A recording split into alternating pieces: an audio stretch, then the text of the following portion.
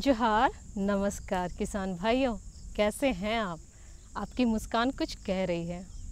ये कह रही है कि भाई मौसम ने जो दस्तक दी है तो आप उससे खुश हैं, क्योंकि अब आपको खेती बाड़ी का समय हो चला है।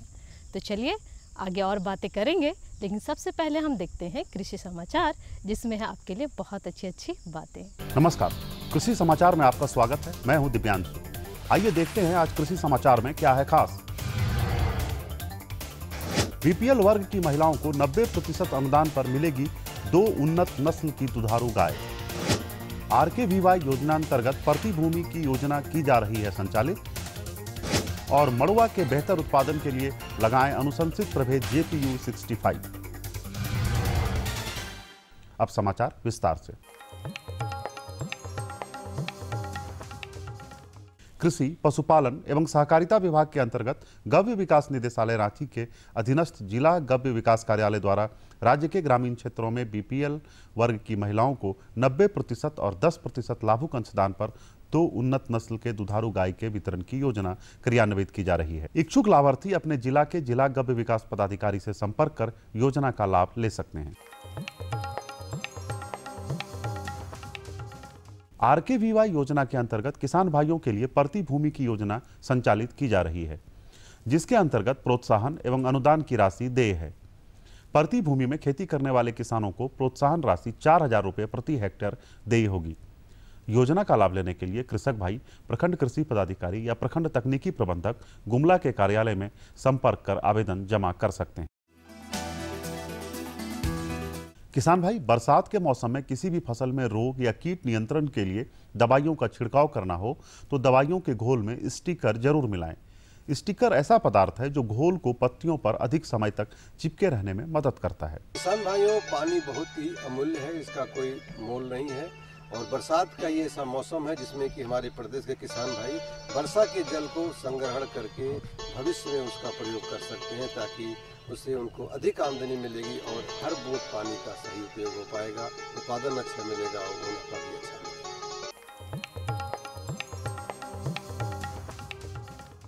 किसान भाई खरीफ मौसम में मड़ुआ के अधिकाधिक उत्पादन के लिए झारखंड में अनुशंसित उन्नत प्रभेद लगाएँ। ये उन्नत प्रभेद कौन से हैं? आइए इस संबंध में जानते हैं विशेषज्ञ से। किसान भाइयों मड़ुआ के उपयुक्त किस्में जे पी यू पैंसठ है जे पी यू पैंतालीस है ई ए चार सौ चार है एच आर तीन सौ चौहत्तर है। और बिरसा मड़ुआ वाइट सफ़ेद रंग की बिरसा मड़ुआ आ रही है। वो भी लगा सकते हैं, जिनका सफ़ेद ब्राउन, भूरा अच्छा नहीं लगता उसके लिए। और उपयुक्त समय जो अभी पंद्रह जून से लेकर के पंद्रह जुलाई के आसपास का है, वो सबसे उपयुक्त समय है। किसान भाई, कतारों में बीज की बुआई एवं खाद डालने के लिए बिरसा बीज नामक कृषि यंत्र का प्रयोग कर सकते हैं। इसकी कार्यक्षमता 50 डिसमिल प्रतिदिन है। आज की विशेष जानकारी है फूल गोभी या पत्ता गोभी फ़सल में कीटों के नियंत्रण के बारे में। किसान भाई फूल गोभी या पत्ता गोभी फ़सल में पत्ती खाने वाले वयस्क लार्वा कीड़े लग गए हों तो पौधों से निकालकर इकट्ठा कर लें और खेत से दूर ले जाकर नष्ट कर दें। और अब एक नज़र राज्य के पाँच प्रमुख शहरों के मौसम के मिजाज पर। आज राज्य के पाँच प्रमुख नगरों के अधिकतम और न्यूनतम तापमान कुछ इस प्रकार दर्ज किए गए। रांची का अधिकतम तापमान 31 डिग्री सेल्सियस और न्यूनतम 23 डिग्री सेल्सियस। जमशेदपुर का अधिकतम तापमान 32 डिग्री सेल्सियस और न्यूनतम 26 डिग्री सेल्सियस। मेदिनीनगर का अधिकतम तापमान 30 डिग्री सेल्सियस और न्यूनतम 24 डिग्री सेल्सियस। देवघर का अधिकतम तापमान 32 डिग्री सेल्सियस और न्यूनतम 26 डिग्री सेल्सियस। धनबाद का अधिकतम तापमान 31 डिग्री सेल्सियस और न्यूनतम 25 डिग्री सेल्सियस रहा।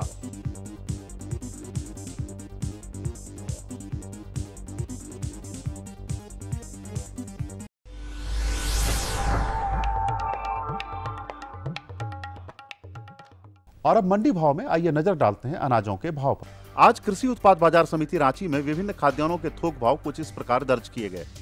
चावल मोटा उन्नीस सौ रुपये से तेईस सौ रुपये, चावल मध्यम तेईस सौ पचास रुपये से अट्ठाईस सौ पचास रुपये, चावल उत्तम बत्तीस सौ रुपये से छः हज़ार रुपये, गेहूँ दो हज़ार रुपये से छब्बीस सौ रुपये, दाल अरहर ग्यारह हज़ार पाँच सौ रुपये से तेरह हज़ार रुपये, दाल मसूर अड़सठ सौ रुपये से चौहत्तर सौ रुपये, दाल चना चौहत्तर सौ रुपये से आठ हज़ार रुपये, सरसों तेल दस हज़ार रुपये से ग्यारह हज़ार पाँच सौ रुपये, चीनी अड़तीस सौ रुपये से उनचालीस सौ रुपये आलू बारह सौ पचास रुपये से चौदह सौ पचास रुपये और प्याज सात सौ रुपये से नौ सौ रुपये प्रति क्विंटल रहा।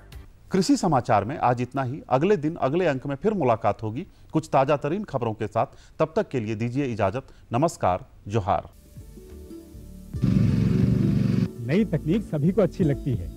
मैंने भी अपने खेत की तैयारी बुआई जुताई गहाई वगैरह के लिए छोटी मशीनें अपनी ज़रूरत के हिसाब से खरीदी। मैंने अपने खेतों में मशीन का प्रयोग किया तो काम जल्दी और आसान हो गया। खेती में मशीनों के इस्तेमाल के बाद मुझे मिली भरपूर पैदावार और ज़्यादा मुनाफा। छोटी मशीनें तो हमारी अपनी अपनी हैं, लेकिन बड़ी मशीनें हमने समूह बनाकर खरीदी। किसान भाइयों और बहनों आप भी उन्नत मशीनों और उपकरणों की खरीद पर वित्तीय सहायता का लाभ उठाएँ, अपनी आमदनी बढ़ाएँ और खुशहाली पाएँ।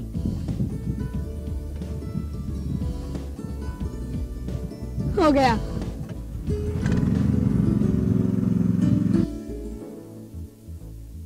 मैंने सोच लिया है। मैं तुझे कृषि का इंजीनियर ही बनाऊँगा। नई मशीनें नए उपकरण आए आपके द्वार। ले लो इनसे अब खूब खुशी और पैदावार। तो चलिए किसान भाइयों समाचार के बाद आपके अपने कार्यक्रम में फिर से स्वागत करती हूँ।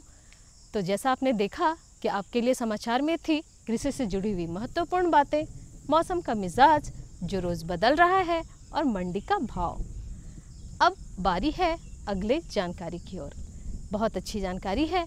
आपको लिए चलेंगे हम अनगढ़ा ब्लॉक के मुनगाडीह गाँव, जहाँ की ये वृत्त चित्र है, जिसमें हम जानेंगे कि मौसम पूर्वानुमान के आधार पर कैसे कृषि सलाह दी जाती है और किसान भाई कृषि कर रहे हैं और लाभ भी कमा रहे हैं। तो चलिए हम और आप चलते हैं मुनगाडीह गाँव और वहाँ ये वृत्त चित्र देखते हैं और जानकारियाँ बटोर लाते हैं। झारखंड राज्य में कृषि के क्षेत्र में किसानों को कड़ी चुनौतियों से गुजरना पड़ता है। पहाड़ी क्षेत्र होने के कारण यहाँ की ज़मीन पथरीली है, ढलान वाली है, मिट्टी की गहराई कम है, उसकी उर्वरता और जलधारण क्षमता कम है। अम्लीयता और सिंचाई में भी काफ़ी कमी है। यहाँ 10 से 15 प्रतिशत ही सिंचाई की सुविधा उपलब्ध है।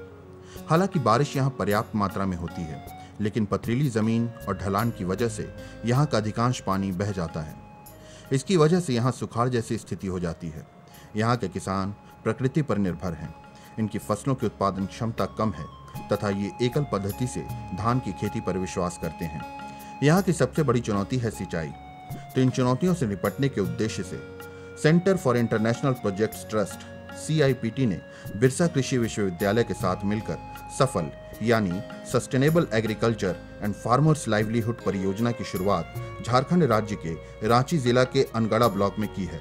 USAID यानी United States Agency for International Development Bharat में सीआईपीटी के साथ मिलकर वाटर एंड लाइवलीहुड यानी व्हील्स पे काम कर रही है। और इसने झारखंड में सफल परियोजना के अंतर्गत अनगढ़ा ब्लॉक के 10 गाँवों से 700 किसानों को इस परियोजना से जोड़ा है। USAID United States Agency for International Development के अंतर्गत कोलंबिया यूनिवर्सिटी का एक कोलंबिया वाटर सेंटर है।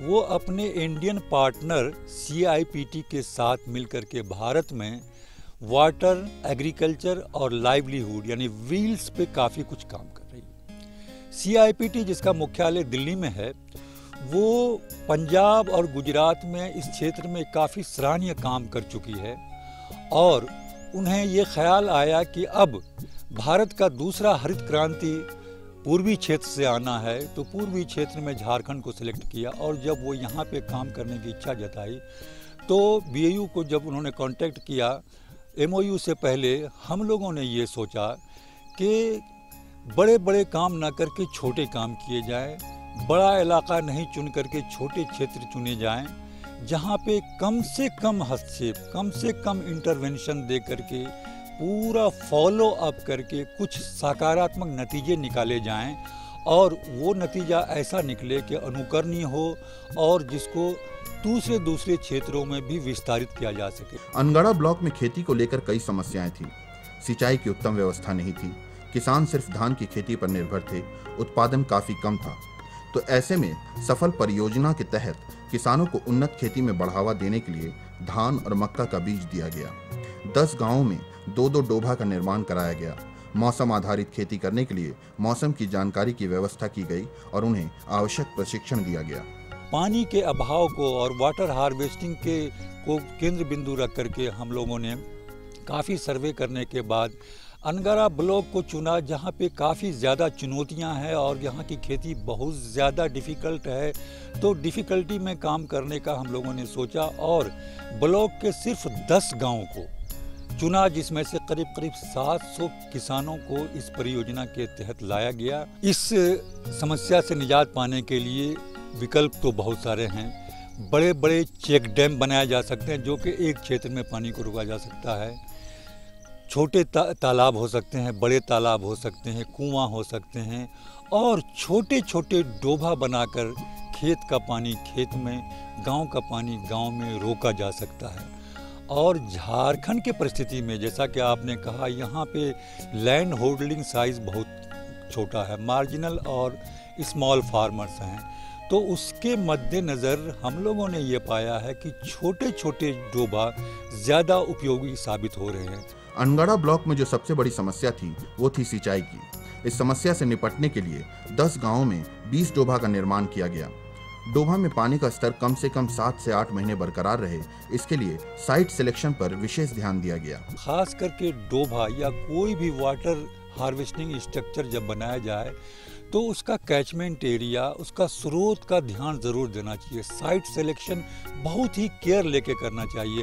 ऐसा नहीं कि 10 दिन बारिश हुई, उसमें कुछ पानी जमा हुए, बारिश ख़त्म हो गया तो उसका पानी ख़त्म हो गया। इसलिए डोभा का सिलेक्शन ऐसे जगह करना चाहिए जहाँ पे बारिश की, का पानी तो जमा हो ही। साथ साथ आस पास के इलाके से आसपास के जगह से जो रिश्ता हुआ पानी है, सब सरफेस वाटर जो फ्लो करता है, जो पानी फॉल्स में जाके गिरते हैं, वो उस डोभा में आके जमा हो। तो कम से कम सात आठ महीने तो पानी डोभा में रहना ही चाहिए, तभी खेती को वो मदद कर सकता है। झारखंड में खेती मौसम पर निर्भर करती है। मौसम को अपने अनुकूल बनाना अपने वश में नहीं होता। तो ऐसे में मौसम के हिसाब से हमें ही ढलना होता है। किसान मौसम आधारित खेती कर सकें। इसके लिए मौसम की जानकारी होनी अति आवश्यक है। इसकी पूर्ति के लिए सीआईपीटी ने अनगढ़ा के गाँव में ऑटोमेटिक वेदर स्टेशन की स्थापना की है, जिससे कि मौसम के मिजाज का पता लगाया जा सके। झारखंड की मौसम और खेत की परिस्थिति के हिसाब से, सिंचाई की परिस्थिति के हिसाब से कह सकते हैं कुल मिला के मोनोक्रॉप्ड एरिया है। एकल फ़सल पद्धति है यहाँ पे। सिर्फ़ खरीफ में ही खेती भरपूर होती है, रबी में बहुत कम खेती होती है। और खरीफ में भी करीब करीब 24-25 लाख हेक्टर में खेती होती है, जिसमें से 17 से 18 लाख हेक्टर में सिर्फ़ धान की खेती होती है। जबकि धान ही एक ऐसा फ़सल है जो मौसम से ज़्यादा प्रभावित होता है, जिसको पानी की ज़्यादा ज़रूरत पड़ती है और सुखाड़ स्थिति हो तो सबसे पहले धान ही मरता है। लेकिन यहाँ के किसानों को धान से काफ़ी मोह है। परंपरागत तरीके से ही ज़्यादा खेती करते हैं, उन्नत किस्म से जो प्रोग्रेसिव फार्मर हैं, जो प्रगतिशील किसान हैं, वो तो करते हैं। लोगों को जो एक मोह है, जो अपना परंपरागत तरीके है, उससे हटने में उनको काफ़ी रिस्क महसूस होता है। और आने वाले दिनों में इन सारे गाँव को हम मॉडल विलेज के रूप में डेवलप करना चाहते हैं, क्लाइमेट स्मार्ट विलेज बनाना चाहते हैं। अभी कुछ गाँव में हमने एक्सपेरिमेंट के तौर पे छोटा प्रोटोटाइप ऑटोमेटिक वेदर स्टेशन लगाया है। और उस ऑटोमेटिक वेदर स्टेशन की विशेषता ये है कि उसका डाटा ऑटोमेटिकली हमारे पास पहुँच जाता है और गाँव के स्तर पे हम आने वाले दिनों में मौसम की जानकारी किसानों को दे पाएँगे, पूर्वानुमान दे पाएँगे, परामर्श दे पाएँगे। तो हमें आशा है कि आने वाले दिनों में ये छोटा सा प्रयास बड़ा रूप लेगा और किसानों को प्रोत्साहन मिलेगा और इसका विस्तार पूरे झारखंड में होगा। जब किसान नई तकनीक से जुड़ते हैं तो उन्हें कई तरह की परेशानियों का सामना करना पड़ता है। इन समस्याओं से निपटने के लिए हर गाँव में एक प्रतिनिधि रखा गया है जिसे किसान अपनी समस्या बताते हैं और वो प्रतिनिधि सीआईपीटी तथा बीएयू को उनकी समस्याओं से अवगत कराता है। देखिए जब कोई नया इंटरवेंशन आता है तो उसके लिए ज़रूरी है कि जब नई चीज़ कोई भी प्रयोग किए जाते हैं तो उसमें समस्याएँ आना जो है वो निश्चित है। तो उसके लिए बड़ा ज़रूरी होता है कि आप लोकल पार्टनर्स के साथ काम करो। उससे स्वीकार्यता बढ़ती है ओनरशिप भी बढ़ती है और उसमें जो मुश्किलें हैं उनको बड़ी जल्दी से दूर किया जा सकता है। तो सीआईपीटी ने बिरसा कृषि विश्वविद्यालय के साथ प्रोफेसर वदूत के साथ कलेबोरेशन किया। तो ये दो पार्टनर यहाँ पे मिल के काम करते हैं। तो किसान को जब भी कोई मुश्किल आती है तो वहाँ डायरेक्ट कांटेक्ट है बिरसा कृषि विद्यालय का। किसानों के साथ। किसानों के हर गाँव में यहाँ पे हमने नुमाइंदे चिन्हित किए हुए हैं। वो नुमाइंदे जो नुमाइंदे हैं, किसान उनके पास जाता है, उनको अपनी समस्याओं से परिचित कराता है। और वो जो हमारे नुमाइंदे हैं, वो बिरसा कृषि विश्वविद्यालय और हमारे सीआईपीटी ऑफ़िस के साथ संपर्क साधते हैं। सीआईपीटी द्वारा दिए गए उन्नत बीज, मौसम की जानकारी, प्रशिक्षण तथा बनाए गए डोभा ने अनगढ़ा के किसानों की तस्वीर ही बदल दी है। इसका प्रतिफल ये हुआ है कि किसानों की फ़सल का उत्पादन पाँच से छह गुना बढ़ गया है। जहाँ वो पहले एक हेक्टर में 10 से 11 क्विंटल धान लिया करते थे, इस हस्तक्षेप के बाद 60 क्विंटल प्रति हेक्टर धान ले रहे हैं। पिछले साल हमने 25 डिसमिल के लिए एक किसान को धान का बीज दिया था। इस बार उसका तीन गुना कर रहे हैं। सत्तर पचहत्तर डिसमिल के लिए किसानों को धान का बीज दे रहे हैं। पचास क्विंटल धान हमने ले लिया है और उसको आने वाले दिनों में 10 से 15 जून के आसपास हम वितरित करेंगे। सिर्फ़ वितरित ही नहीं करेंगे, उसका पैकेज और प्रैक्टिस ही बताएँगे। और धान का किस्म हमने हाइब्रिड नहीं लिया है, बल्कि ललाट और नवीन लिया है, जो धान के उपज से अगले साल उसी बीज को वो इस्तेमाल कर पाएँगे। उन्हें बाज़ार से बहुत ज़्यादा कीमत में हाइब्रिड सीड खरीदना नहीं पड़ेगा।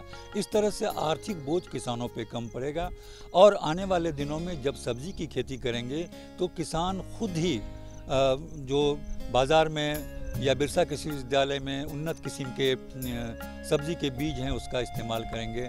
इतना ही नहीं, धान की खेती के बाद किसानों को सब्ज़ी की खेती के लिए भी प्रेरित किया गया, तथा उन्हें लत्तेदार सब्ज़ी के बीज दिए गए, और उसकी उपज इतनी हुई कि हर किसान सब्ज़ी बेचकर हफ़्ते में हज़ार रुपए की आमदनी प्राप्त करने लगा है। पानी अप्रैल के अंत तक डोभा में था। कोई एक महीना तक तो आधा पानी रहा, दूसरे महीना में थोड़ा कम हुआ।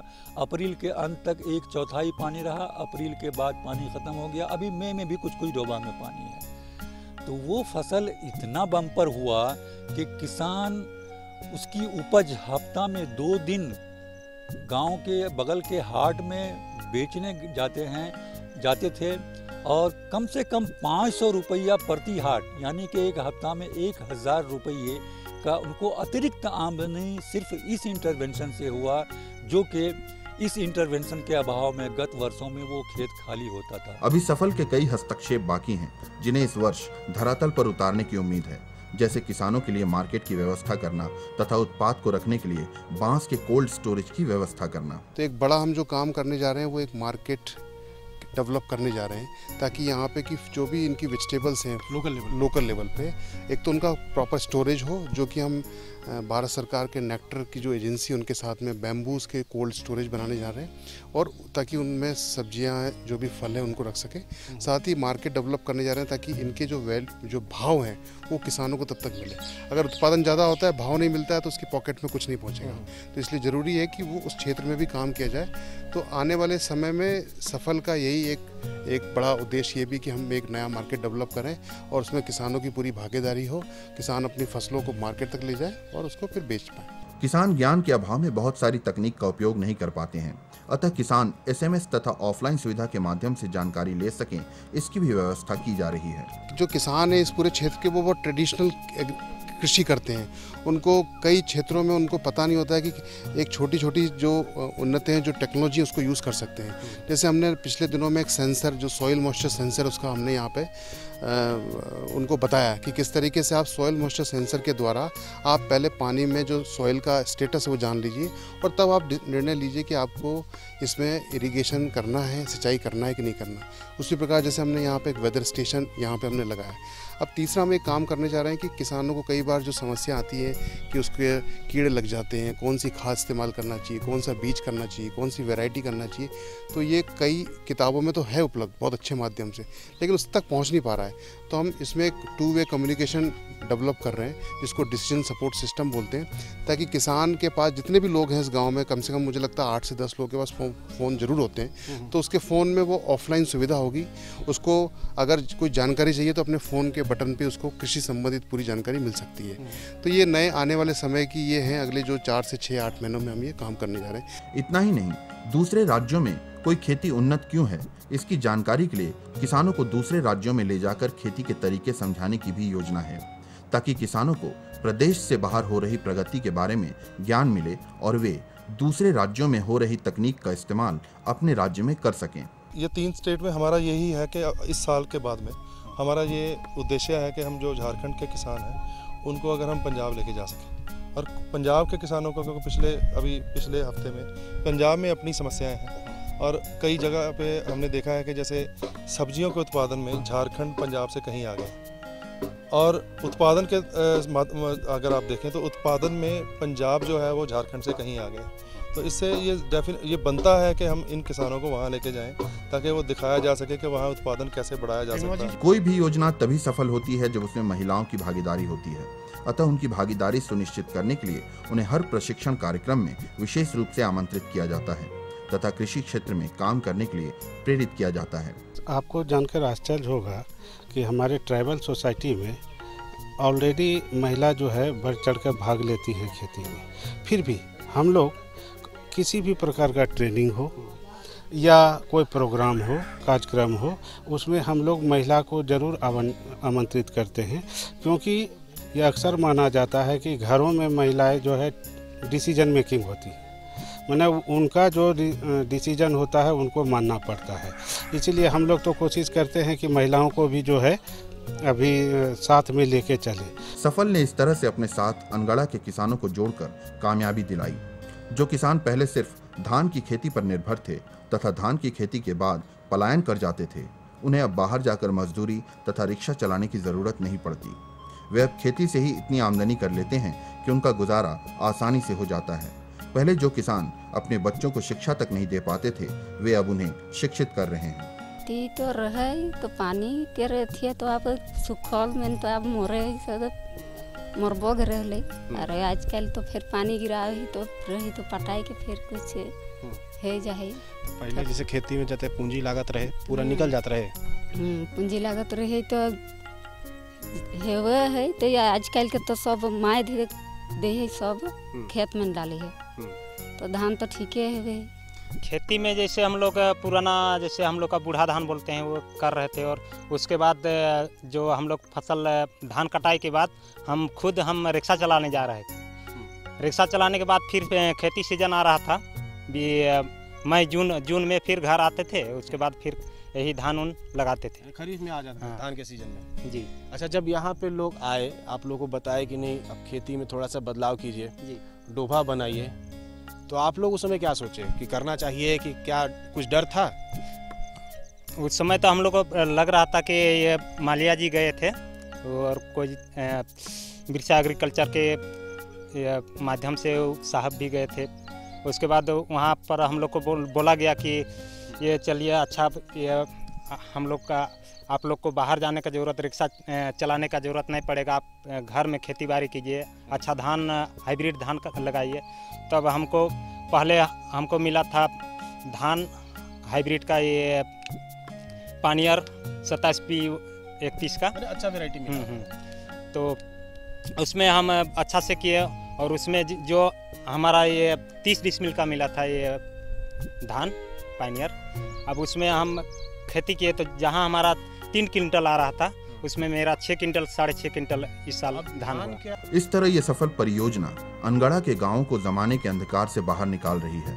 इसका प्रकाश आसपास के क्षेत्रों में भी पड़ रहा है। इलाके के किसान नई सुबह की ओर अग्रसर हो रहे हैं। वस्तुतः सफल नहीं अनगढ़ा के किसानों को सफल बना दिया है। तो दोस्तों देखा आपने कि हमने अपने कार्यक्रम में आपको दिखाया कि जब किसानों के पास में खेती करने के लिए जो पर्याप्त साधन है, वो अगर उपलब्ध हो जाएँ तो वो खेती में वह कीर्तिमान भी स्थापित कर सकते हैं जो औरों के लिए दिगर है। आप हमारे पीछे जो ये बोर्ड देख रहे हैं, सफल का यह सिर्फ़ बोर्ड नहीं है यह किसानों के लिए एक प्रमाण पत्र है कि उन्होंने इसके माध्यम से कृषि में सफलता प्राप्त की है, जिसमें कि यूएसएड और सीआईपीटी, दोनों का सहयोग इनको मिला है। और किसान भी यह मानते हैं कि इस तरह की योजना आने से, उनको प्रशिक्षण मिलने से खेती में वो नए नए प्रयोग कर सकते हैं और अपने आप को सक्षम कर सकते हैं, आत्मनिर्भर कर सकते हैं खेती के माध्यम से। यह जो सड़क है, यह सिर्फ़ सड़क नहीं है, यह सड़क विकास की सड़क है, जो कि इन किसानों के दरवाज़ों तक जाती है। हम आशा करते हैं कि आज के कार्यक्रम से जो हमारे किसान भाई हमको देख रहे हैं, वह भी जानेंगे, समझेंगे और इस तरह की योजनाओं को वो भी अपने गाँव तक लाने का प्रयास करेंगे। तो आज के अंक में इतना ही। अगले अंक में फिर मुलाकात करेंगे। तब तक के लिए इजाज़त दीजिए। नमस्कार, जोहार। भारतीय मौसम विभाग पुणे से प्राप्त आज का मौसम पूर्वानुमान कुछ इस प्रकार है।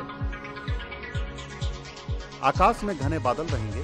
हवा दक्षिण पूर्व की ओर से 6 किलोमीटर प्रति घंटा की रफ्तार से चलेगी। आज का अधिकतम तापमान 32 डिग्री सेल्सियस और न्यूनतम 24 डिग्री सेल्सियस रहने की संभावना है। अब मौसम पूर्वानुमान पर आधारित कृषि सलाह। ऊपरी ज़मीन में विभिन्न खरीफ फ़सलों की बुआई का समय अभी उपयुक्त है। किसान भाई जल्द से जल्द फ़सलों की बुआई का कार्य पूरा करें। जो किसान भाई अभी तक बिचड़ा तैयार करने के लिए बीज स्थली में बीज नहीं डाल पाए हैं, वो बीज स्थली में तीन चार दिनों के अंतराल पर क्रमशः तीन चार किस्तों में बोए।